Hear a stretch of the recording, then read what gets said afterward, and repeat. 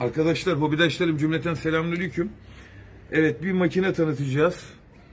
Bir makineye odaklanalım. Okuma'nın yeni bir makinesi. Şu anda Türkiye'ye numunelik geldi. Bir tanesi de bizim elimizde. Tesoro.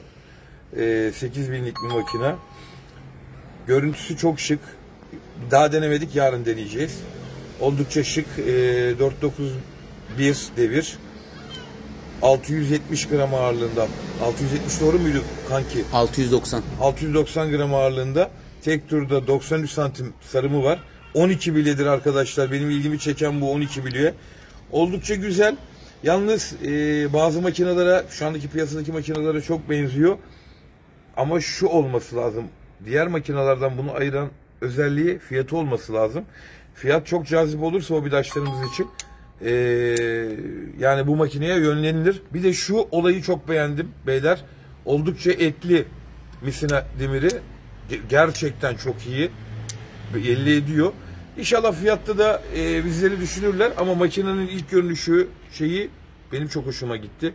Yarın da Badim'le beraber deneyeceğiz bakalım sonuçlar ne olacak.